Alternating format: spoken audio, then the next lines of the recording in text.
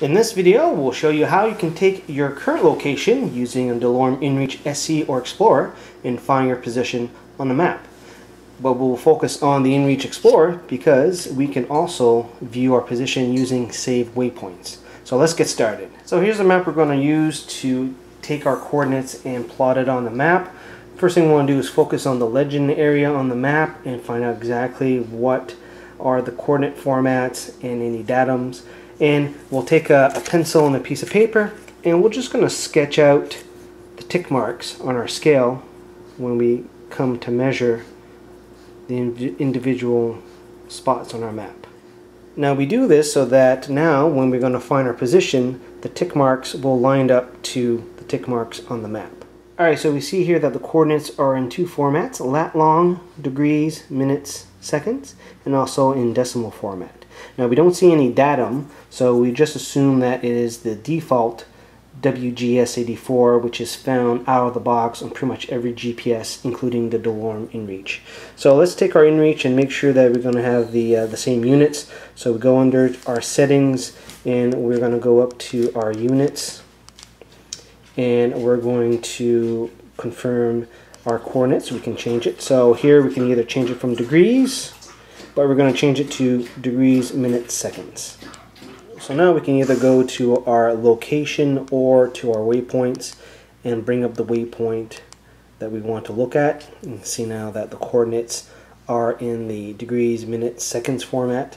And we're just going to write this down on our piece of paper here and actually plot it out. So let's start with our east-west bearing, which is the bottom number here. So I notice here that we have 12 ticks between uh, the degrees here and there's two degrees difference.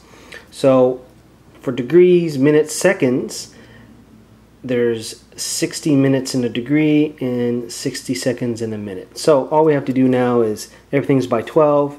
So in order to get to 69.1 to the one minute right here, we go up six ticks. One, two, three, four, five, six. And now 47, remember 47 minutes or 47 seconds in a minute.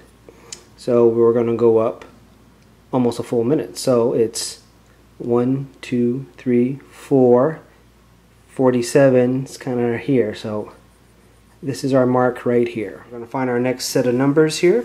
So remember, 60 seconds goes into a minute. So now we're down at 45 degrees, 52 minutes, 53 seconds in and it's 1, 2, 3, 4, 5, 53 right there.